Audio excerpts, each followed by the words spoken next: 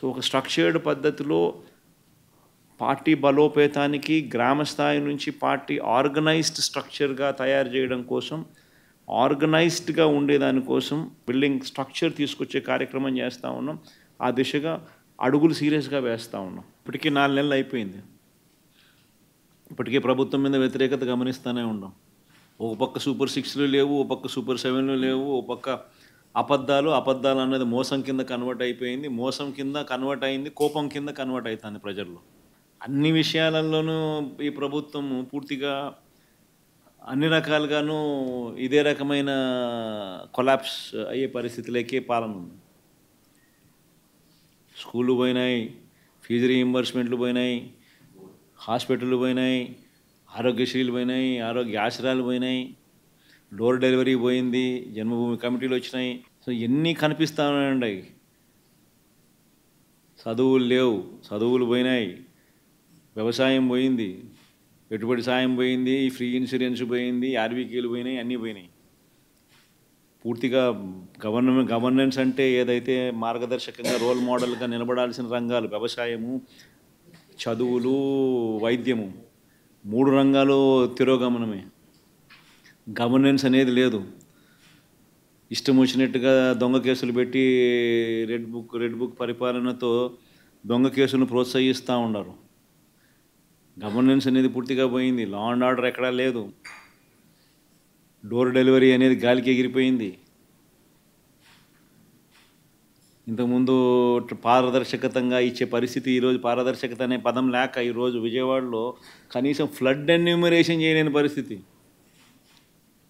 ఇన్ని ఇల్లులు మునిగినాయి ఈ మునిగిపోయిన ప్రతి ఇంటికి సహాయం చేయాలనుకుంటే కనీసం ఆ ఇళ్ళకు కూడా సహాయం చేయలేని పరిస్థితి కలెక్టర్ల దగ్గర చుట్టుముడుతున్నారు ప్రజలు. అంటే ఒక ట్రాన్స్పరెన్సీ లేదు ఒక పారదర్శకత లేదు. కొందరికే నచ్చినోనికే ఇవ్వాలనుకుంటే ఇస్తారు. ఇవన్నీ స్టార్ట్ అయిపోయినాయి. నాలుగు నెలలకే ప్రభుత్వం మీద వ్యతిరేకత అన్నది తారాస్థాయికి వెళ్ళిపోయి ఏ తారాస్థాయికి వెళ్ళిపోయిందని అంటే వాళ్ళకు కూడా అది అర్థమయ్యి టాపిక్లు డైవర్ట్ చేసేందుకు కొత్త కొత్త టాపిక్లు తీసుకొస్తా ఉన్నారు. పార్టీ కోసం ఎవరైతే పనిచేసినారో పార్టీ కోసం ఎవరైతే కష్టపడినారో పార్టీ కోసం ఎవరైతే నష్టపోయినారో వీళ్ళే అన్ని వీళ్ళు వీళ్ళే వీళ్ళే ఆ బాధ్యతల్లో ఉంటారు. సో పార్టీ అనేది మనది అనేది మనం అందరం కూడా కలిసికట్టుగా ఓనర్షిప్ తీసుకోవాలి. ఆ ఫైర్ అనేది రావాలి?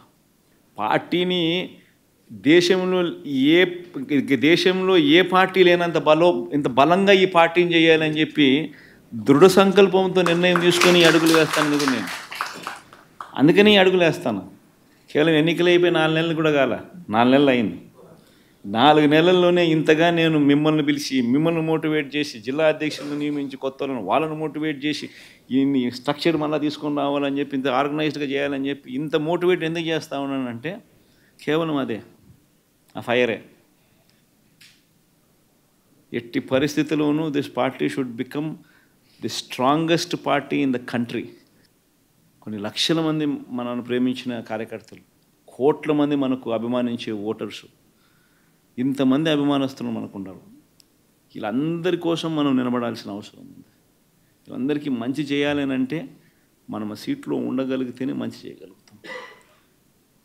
దానికోసం అని చెప్పి మనం గట్టిగా యుద్ధం చేయాల్సి వస్తూ ఉంది. ఖచ్చితంగా గుర్తుపెట్టుకుంటాం